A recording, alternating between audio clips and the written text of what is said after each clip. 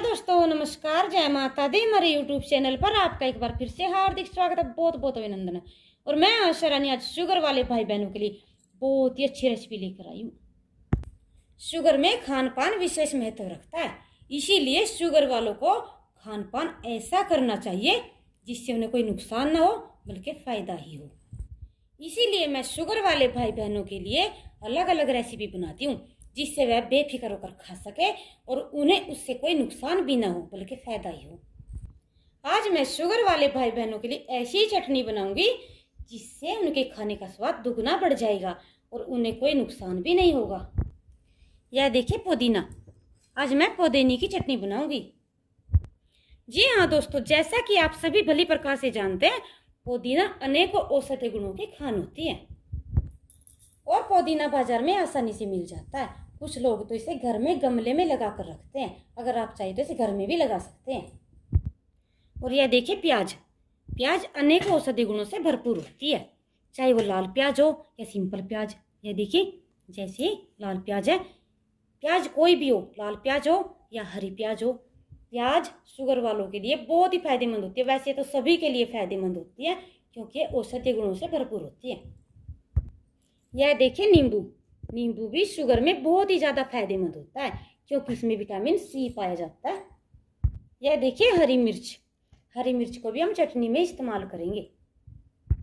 चटनी बनाने से पहले तमाम शुगर व बीपी वाले भाई बहनों से विनती करती हूँ, जैसा मैं हर बार करती हूँ, कि सैर ज़रूर करें पैंतालीस मिनट सुबह, पैंतालीस मिनट शाम को।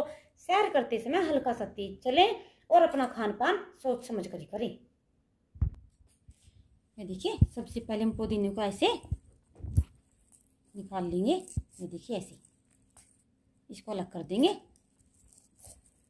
सारा ऐसे ही निकाल लेना है इसके पत्ते पत्ते उतार लेने अगर डंठल ये कच्ची है तो हम इसको थोड़ा सा ले लेंगे, नहीं तो पत्ते पत्ते लेने।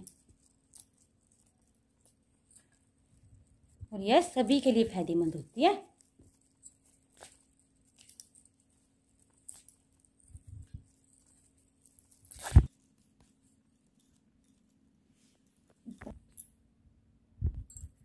ये देखिए, सारा पुदीना ऐसे साफ़ कर लेना और इसको पहले अच्छी तरह से धो लेना है और एक बार इसको पत्ते तोड़ने के बाद भी धोना है।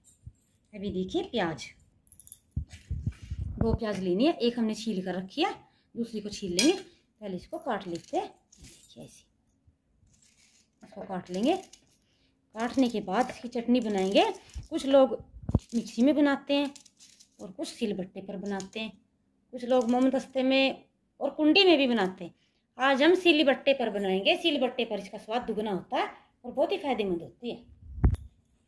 ये देखिए। सील बट्टा अब इसको हम पुदीने को पर डालेंगे। सारा डाल देना। और ये हरी मिर्च, इनकी भी डंडी निकाल देंगे। और इसको इसी के अंदर कूट लेंगे।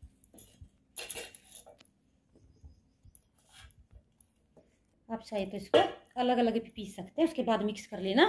जैसे प्याज, हरी मिर्च और पुदीना अलग अलग परंतु हम एक साथ इसको बारीक करेंगे। देखिए, ऐसी। हरी मिर्च आप अपने स्वाद के हिसाब से डालिए। कम ज़्यादा जितना भी करना चाहते हैं, उतना ही लीजिए। अब इसको एकदम बारीक कर लेंगे।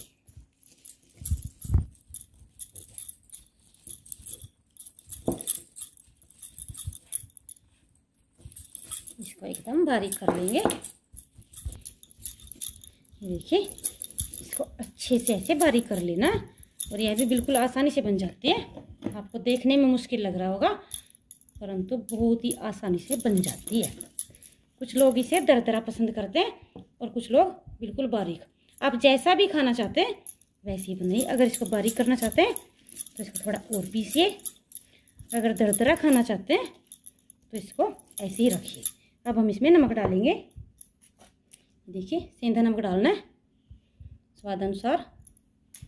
अब इसको थोड़ा ऐसे इससे मिक्स कर देंगे इसको। अभी हम इसमें एक चीज़ और डालेंगे, जो इसके खाने का स्वाद और भी दुगना कर देगी।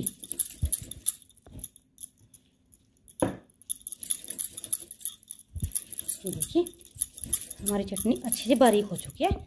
अब हम इसको किसी बर्तन में डाल लेंगे।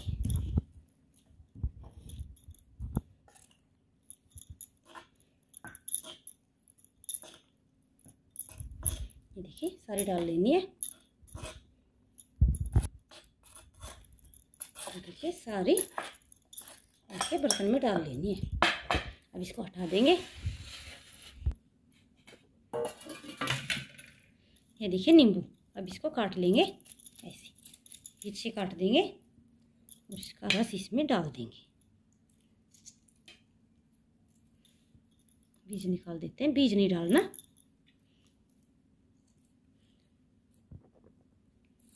पूरे नींबू का रस डालना है। देखिए, बीज निकाल देना है। अब इसको अच्छे से मिक्स कर देंगे। देखिए। यह देखिए, हमारी पुदीने की चटनी बिल्कुल तैयार है, जो शुगर वाले भाई बहनों के लिए बहुत ही फ़ायदेमंद होती है। पुदीना और प्याज और नींबू, यह तीनों ही शरीर में पानी की कमी को भी पूरा करते हैं, इसीलिए फ़ायदेमंद होती है। और शुगर वाले इस चटनी को अपनी डाइट में ज़रूर शामिल करें। यह खाने का स्वाद भी बढ़ाती है और फ़ायदेमंद भी होती है। वैसे तो सभी के लिए फ़ायदेमंद है। और धन्यवाद दोस्तों। अगर आपको हमारी वीडियो पसंद आई हो, लाइक, शेयर ज़रूर करें और हमारे चैनल पर बने रहें नई नई जानकारी पाते रहें। जय माता दोस्तों।